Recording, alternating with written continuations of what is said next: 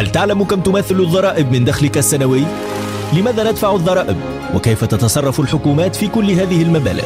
هل تخضع الشركات للجباية بنفس القدر؟ لماذا تختلف نسب الضريبة من بلد لآخر ومن فئة لأخرى؟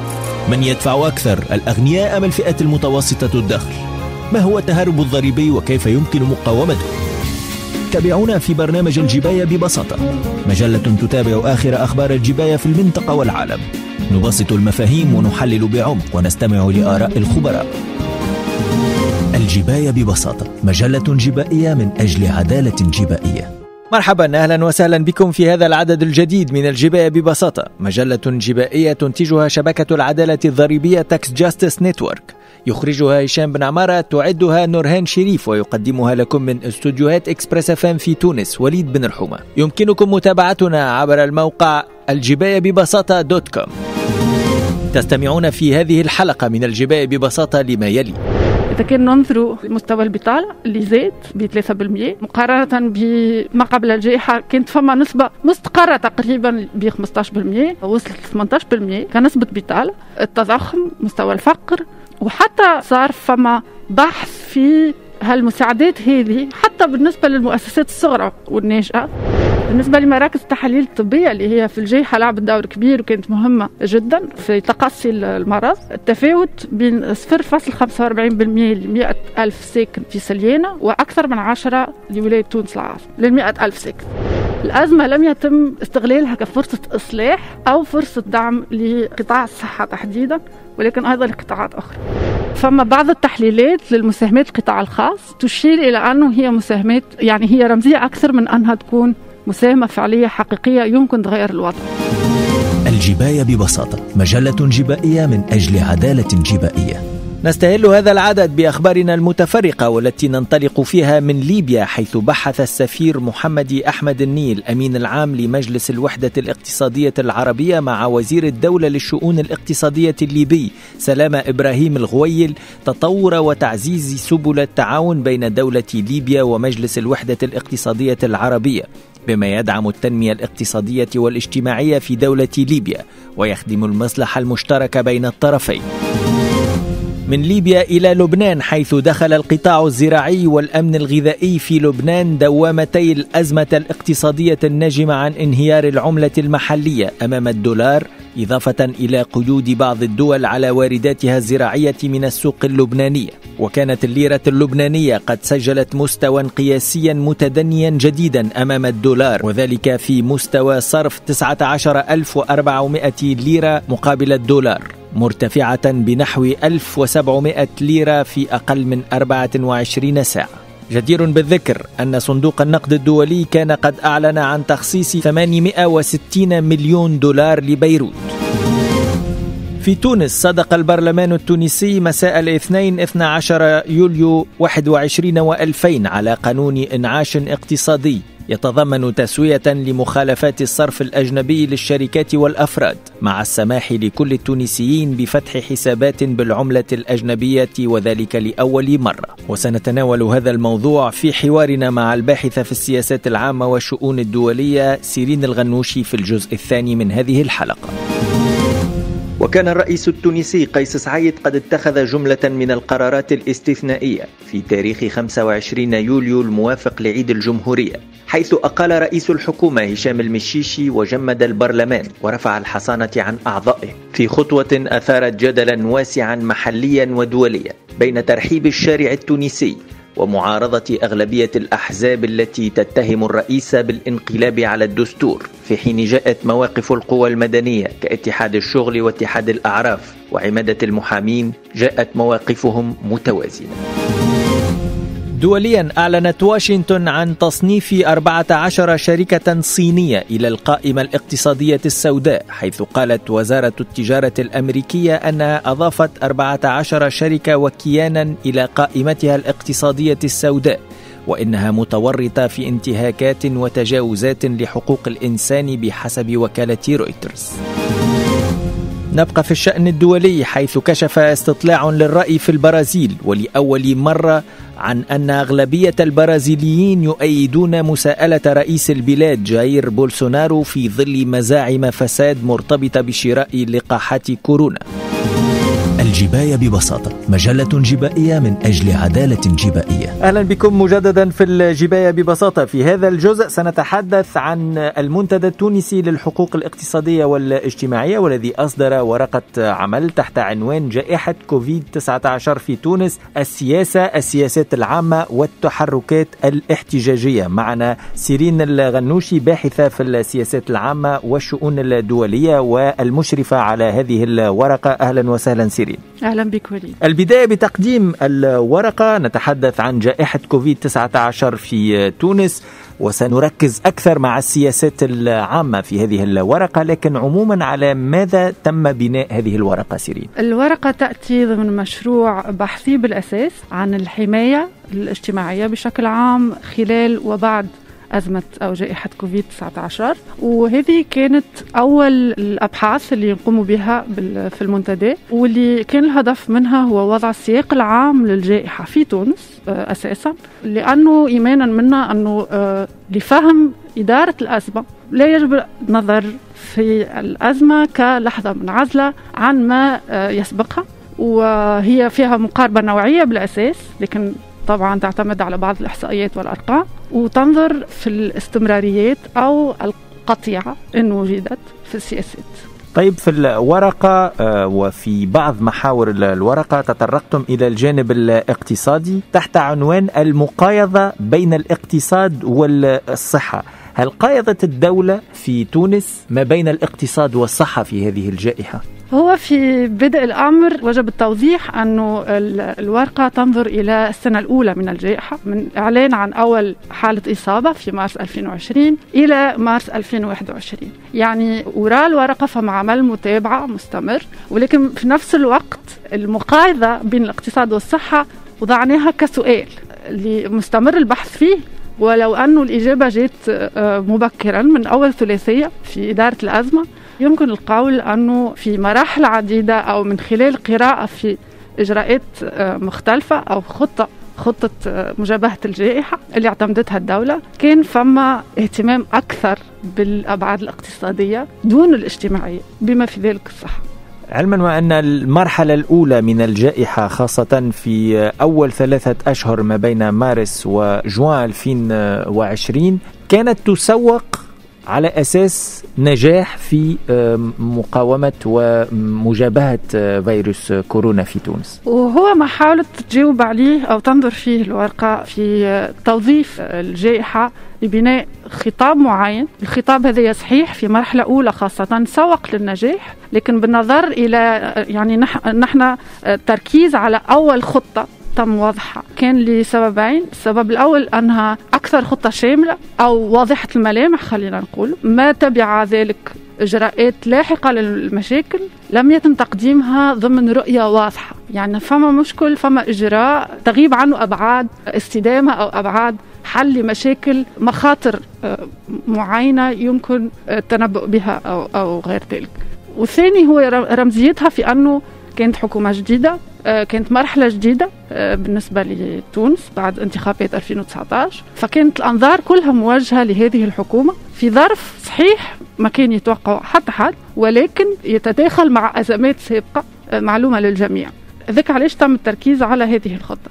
اللي من بين ملامحها هي تقدمت على أساس أنها فيها بعد اجتماعي ولكن بالنظر للأرقام أو تحليلها نوعيا هي بالأساس تركز على المشغل هي كمية مالية بالأساس والجانب الاجتماعي فيها لا يقطع مع السياسات السابقة لمعالجة مواطن الهشاشة مثلا أو ما قد ينجر على الجائحة كحدث استثنائي. هي نفس استمرارية التعامل مع الفئة الهشة. دون النظر في ما قد ينجر عن الجائحة من كما قلنا في الورقة من بعد مواطن هشاشة جديدة طيب حكومة الياس الفخفاخ والتي تولت المهمة آه، في بداية الجائحة آه، أخذت جملة من الإجراءات منها خاصة ما هو اجتماعي بضخ آه، إعانات مباشرة خاصة للعائلات المعوزة.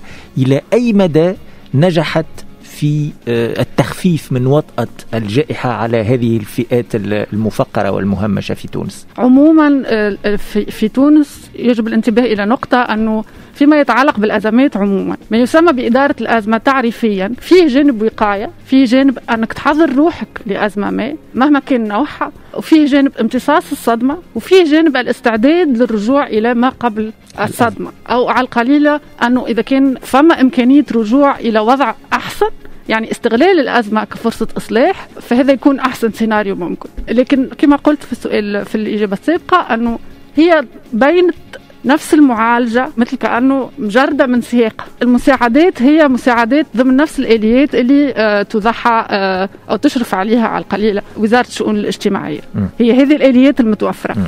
وضمن تعريف للهشاشة أو للفقر أو لمواطن الضعف الاقتصادي والاجتماعي الذي تضعه الدولة بمعايير أساسا اقتصادية. وباعتراف من وزارة الشؤون الاجتماعية في حد ذاتها مازال اليوم صعيب نعرفوا هل مساعدات المباشرة النقدية قاعدة توصل لمستحقيها أو آه لا.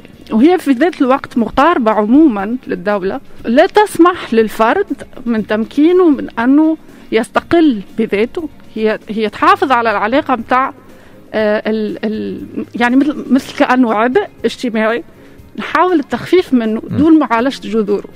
نفهم من كلامك أنه يصعب قيس بصفة دقيقة مدى نجاعة هذه الإجراءات بالنسبة ل... بالنسبة للإجراءات اللي لها علاقة بالمساعدات النقدية م. أو العينية المباشرة صحيح اللي يصعب المتابعة لأنه عموما برامج اللي تضعها الدولة تفتقر إلى منهجيات متابعة وتقييم. ولكن بغض النظر عن هذه الآلية تحديدا على الأقل الخطة الأولى وما تبع ذلك من قرارات النتائج نتاعها كانت عكسية. إذا كان ننظروا لمستوى البطاله اللي زاد ب 3% مقارنة ب ما قبل الجائحة. ما قبل الجائحة كانت فما نسبة مستقرة تقريبا ب 15% وصلت ل 18% كنسبة بطالة كنسبة بطالة التضخم مستوى الفقر وحتى صار فما بحث في هالمساعدات هذه حتى بالنسبة للمؤسسات الصغرى والناشئة هل وصلت المساعدات اللي تم الإعلان عليها أو لا؟ الأغلبية يقولوا لم ننتفع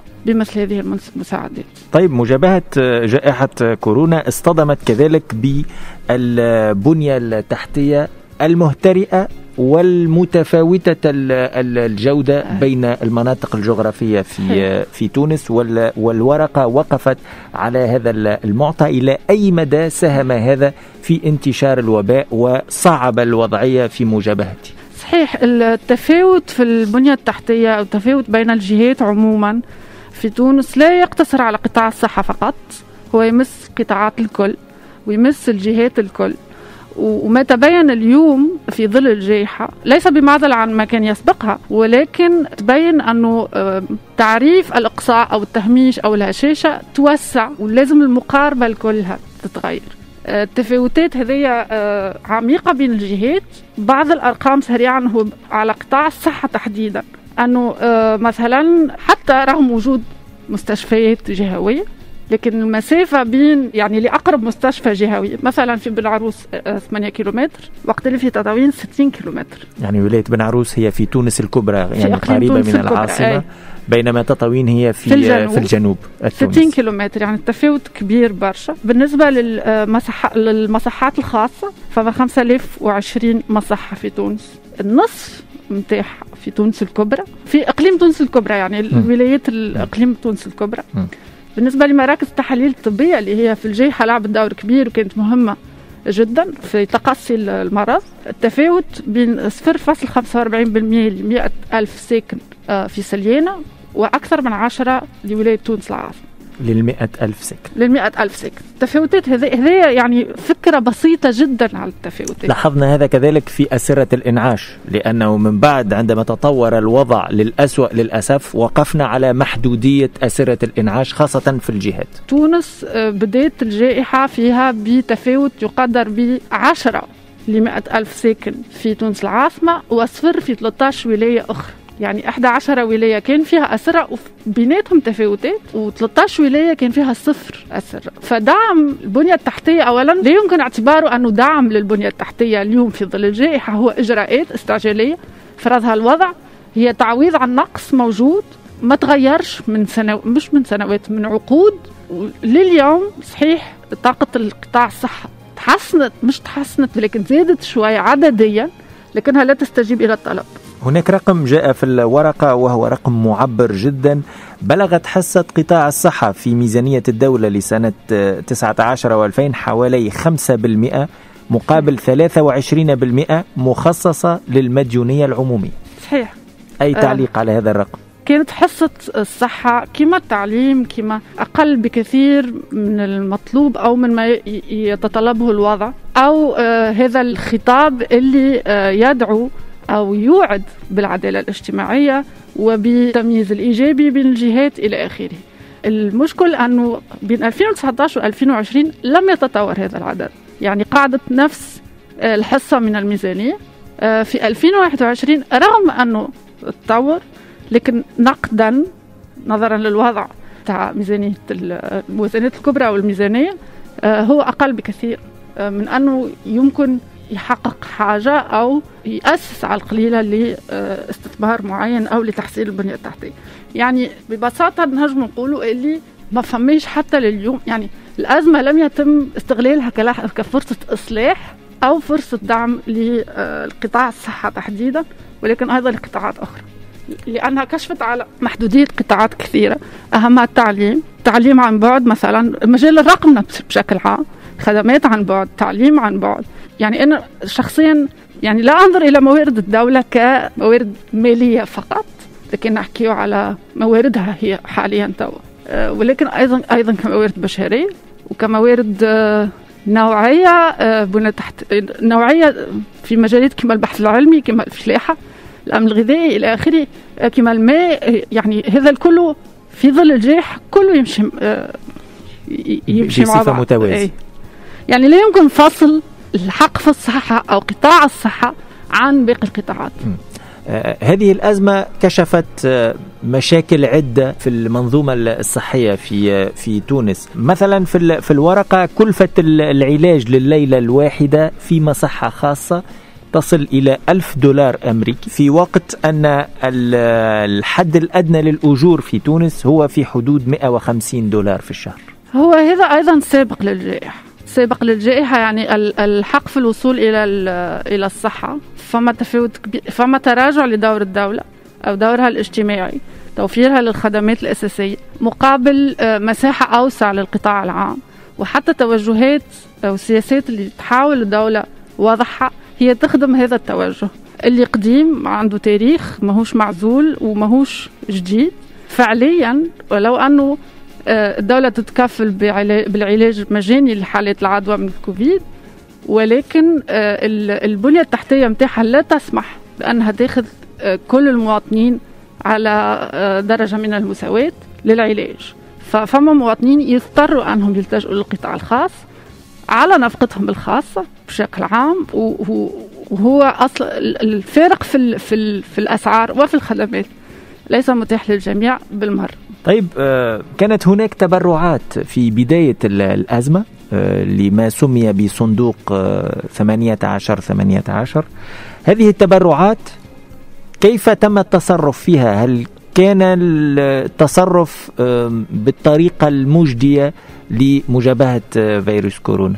هو اولا صندوق تبرعات كان مفتوح للجميع يعني شارك فيه مواطنين عاديين كما شارك فيه فاعلين مجتمعيين أو اقتصاديين آخرين كما من القطاع الخاص. ولكن التصرف فيه لم يكن آه، فيه من الشفافية ما يرتقي لطبيعة الصندوق كفكرة كأنه فكرة تشاركية مجهود جماعي وطني. اليوم لا نعلم كيف تم التصرف في هذه الموارد اللي هي ظرفية اللي كانت لازم تتوجه للصحة.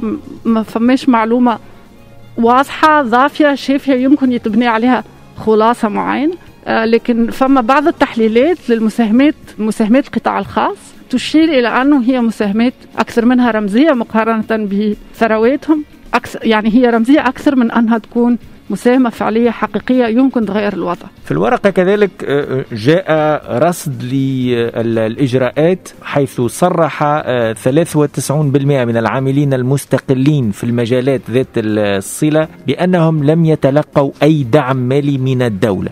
كان هذا في شهر جانفي 21 و2000 هي المتابعة لجملة الإجراءات اللي صارت مستمر ولكن كما قلت في التعليق على أول خطة حكومية النتائج اللي قاعدة تخرج آه، ولو أنه مازال جاري النظر فيها أو البحث عنها توضح أنه فما فرق كبير بين الأهداف أو ما تم التسويق له كأهداف وبين الواقع المعاش. يعني آه، أهم من هذية أنها في المجمل سياسات أولا غير عادلة بما يكفي على القليل أو أنها تضمن اقتصاد أزمة. يمكن أنه يحدد فيما بعد الأزمة. إذا كان باش يكون فما إعادة هيكلة أو إعادة آه، تنشيط للاقتصاد أو تجاوز الأزمة بشكل عام في ظل ما أعتقده أنه باش يكون تروما نوع من التروما الجماعية اقتصاد الأزمة هذا آه، حاليا قاعد يحدد شكون اللي باش يساهم في ما يسمى بالإعادة البناء. وشكون اللي باش يتم إقصائه؟ لأنه التفاوتات قاعدة تتعمق في العالم. أجمع هذا مش جديد لكن لكن في تونس أكثر من هكا سياسات الدولة ماشية نحو تعميق التفاوتات هذه. فقط بعض التدابير التي تم آه، اتخاذها للحفاظ على الوظائف وضمان تسديد رواتب العمال والموظفين وموظفي الوظيفة العمومية حسب ما جاء في آه، الورقة. آه، تم تخصيص خط تمويلي لدعم العمال المسرحيين بثلاثة 300 مليون دينار إعانة لصالح الفئات الضعيفة وذات الدخل المنخفض والأشخاص ذوي الإعاقة. مع تأجيل سداد القروض المصرفية لمدة ستة أشهر لمن لم يتجاوز آه، دخله الألف دينار. كان آه، كان هذا في حدود 150 آه، مليون دينار. بالإضافة إلى عدة إجراءات أخرى كتأجيل دفع الضرائب لمدة ثلاثة أشهر ابتداء من شهر أبريل 20 و2000 بالنسبة للشركات سيما الشركات الصغرى والمتوسطة. تأجيل سداد ديون بنكية إعادة جدول ديون ضريبية. قيل فيها ما قيل حول مدى نجاعة هذه الإجراءات. سنختم بموضوع خارج هذه الورقة. آه، سيرين الغنوشي آه، صدق مجلس نواب الشعب في تونس على قانون الإنعاش الاقتصادي أو قانون التنشيط الاقتصادي. هذا القانون قيل عنه الكثير خاصة فيما يهم التعامل مع المهربين والمتهربين الضريبيين. سنسمع رأي الخبير أنيس الوهابي يعطينا رأي في هذا القانون قانون الإنعاش الاقتصادي ثم أترك لك آه، الفرصة للتعليق. الإجراء اللي يخص آه، إعفاء الجرائم الصرف باش يتمتعوا به المهربين أكثر عباد باش يتمتع به هي المهربين علاش؟ لأنه المهربين هم اليوم اللي عندهم العملة الصعبة بمبالغ طايلة القانون يخول لهم باش يمشي يحل حساب بنكي يحط فلوسه بالعملة الصعبة ويمكن أنه يحافظ عليهم بالعملة الصعبة. ويخلص عليهم مبلغ زهيد جدا 10% و7% ولا إذا كان باش يحولهم للعملة التونسية الدينار يخلص عليهم 4% فقط. ثم يستعملهم كما يحب. ينجم وقت اللي يخليهم بالعمله الصعبه ينجم يخرجهم برا يخلص بهم مش يحب البرا. يعني وكأنه عملنا معبر قانوني للمهربين باش يخرجوا فلوسهم برا وهذايا باش خطر كبير لأنه باش يرجع تونس للقائمه آه، السوداء نتاع الدول اللي تشجع على تبييض الأموال. ثم من ناحية ثانية عملية الإعفاء اللي صارت هذه لم تكن محدودة في الوقت. يعني ما جيناش قلنا راهو إلى حدود 31 ديسمبر 2020 ولا 31 سبت 30 سبتمبر 2021 ثم من بعد راهو باش نرجعوا نكبسوا لا قلنا في كل وقت وفي كل زمان وكل مكان المهرب التونسي ينجم يجي يجيب فلوس ويحل حساب نتاعو ينجم يكون السنة ينجم يكون يعاود العام الجاي ينجم يكون يعاود كل عام يعمل نفس الطريقة هذية يعني ولينا في جنة نتاع تبييض أموال في تونس. بصفة مفضوحة وبصفة خطيرة كان هذا الخبير المحاسب أنيس الوهابي هل هل يمكن التعليق على ما كنا بصدد الاستماع إليه؟ مش على آه، آه، هذا القانون تحديدا ولكن على جملة القوانين اللي تم اعتمادها آه، أو مناقشتها أو المصادقه عليها خلال السنة الفارطة آه، أو في ظل الجائحة تعليق يمكن على آه، ما هي أولويات الدولة تحديدا؟ ما هي الرسالة التي تحاول إرسالها؟ ثانيا على آه، درجة هي في أغلبها كانت مبادرات قديمة سابقة للجائحة حتى. درجة التعنت في الحفاظ على ذوي الامتيازات الاقتصادية. منح مزيد من الامتيازات الاقتصادية في وقت الدولة بحاجة لكل مواردها. فما آه، شخصيا نعتقد أنه فما حلقة آه، ناقصة. اليوم تونس تتوجه إلى طلب المساعدات إلى مزيد من التدين إلى المؤسسات المالية الدولية. ما يؤكد أنه الأزمة ستتعمق آه، مزيد من التقشف إلى آخره مزيد من الجبايات على كاهل المواطن. يعني هو هو هو أيضا في هذا لم يكن هناك قطيعة مع ما سبق اللي هو الحفاظ على مصالح معينة على حساب العدالة, الاجتماعية. جزيل الشكر لك الباحثة في السياسات العامة والشؤون الدولية سيرين الغنوشي. تحدثنا عن ورقة عمل أصدرها المنتدى التونسي للحقوق الاقتصادية والاجتماعية حول كوفيد 19 في تونس. شكرا على الاهتمام. نواصل في الجباية ببساطة. الجباية ببساطة مجلة جبائية من أجل عدالة جبائية. بهذا نصل إلى نهاية هذا العدد من الجباية ببساطة. مجلة ضريبية تنتجها شبكة العدالة الضريبية Tax Justice Network أخرجها لكم هشام بن عمارة. أعدتها نورهان شريف وقدمها لكم من استوديوهات إكسبريس أفام في تونس وليد بن رحومة. إلى اللقاء. تابعونا في برنامج الجباية ببساطة. مجلة تتابع آخر أخبار الجباية في المنطقة والعالم. نبسط المفاهيم ونحلل بعمق ونستمع لآراء الخبراء. الجباية ببساطة مجلة جبائية من أجل عدالة جبائية.